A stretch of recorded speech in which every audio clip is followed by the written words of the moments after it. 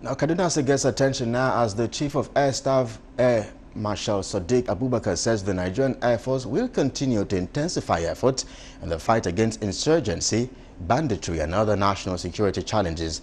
The Air Chief who stated this at the graduation ceremony for all the aerial patient Movement Phase 4 training in Kaduna says NAF will always provide enough medical support for troops in the front line to boost their morale. Represented by Air Officer Commanding Ground Training Command, Air Vice Marshal Idi Amin, the Air Chief says the concentration of the training is largely on combat operations, which is to improve the capacity of the NAF medical personnel to evacuate wounded troops in the theater of operations more effectively and efficiently.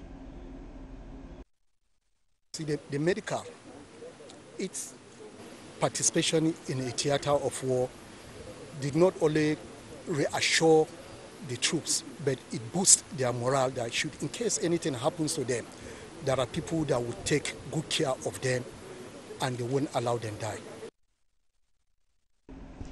Chief of Medical Services, Nigerian Air Force, Air Commodore Gideon Bako says NAF aeromedical evacuation teams have been deployed to the northeast and some African countries to participate in missions, while the representative of the U.S. Air Force, Lieutenant Colonel Peter Shahern, says he's impressed with the equipment and efforts of the force.